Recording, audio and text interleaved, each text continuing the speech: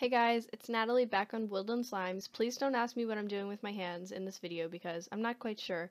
But I asked you guys on Instagram if you wanted to see a slime supplies haul and a majority of you guys said yes. So that's what we're going to be doing today and let's just get right into it. The first thing that I got was a large amount of foam beads. So I'm going to be showing you guys those. Um, the first ones I got are these mini yellow foam beads. Um, and I already used some of them, so that's why it doesn't look all the way full. But yeah, there's some yellow mini beads. And then there's some rainbow mini beads, which I already have a lot of these, so I guess I just have extra, but you know, you can never have too many rainbow foam beads. Um, the next thing I got were these jumbo white foam beads, and these are the foam beads I actually use in my Oh Dear slime. Um, and I think I use these in a Halloween slime as well, so yeah, those came in handy.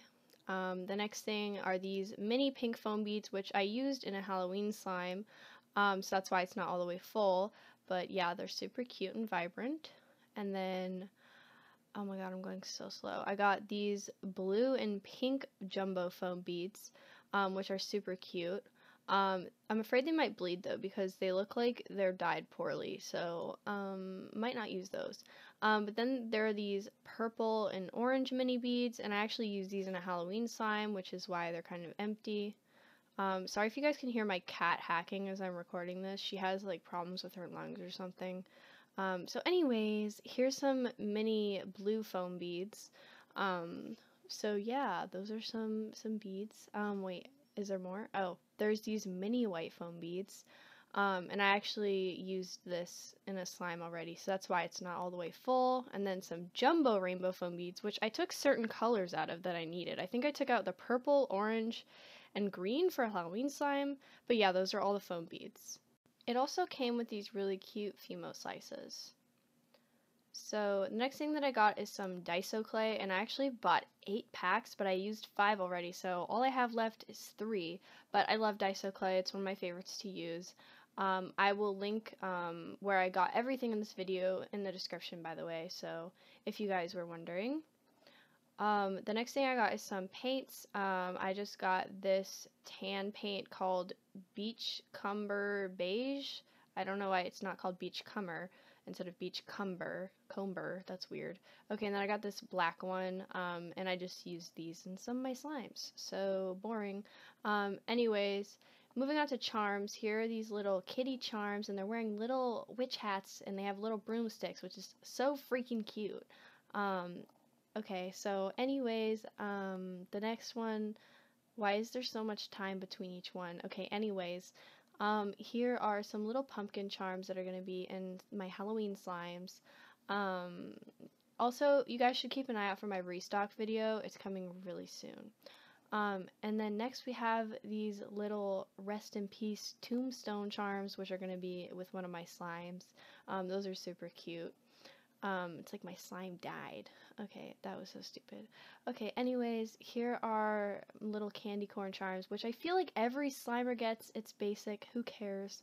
Um, they're cute. They're candy corns. Um, next, I got these little stars that are glow in the dark, and they go with my Oh My Glob slime. Um, so yeah, you get one of these when you get Oh My Glob from my from my slime shop. Um, super cute. Um, why is there such a long time between each thing that I'm showing? Okay. There's some glitter. I got some glitter. Um, this is some onyx. Is that, is that how you say onyx glitter? And it's super pretty. It's just like black with like a purple shift. Super pretty.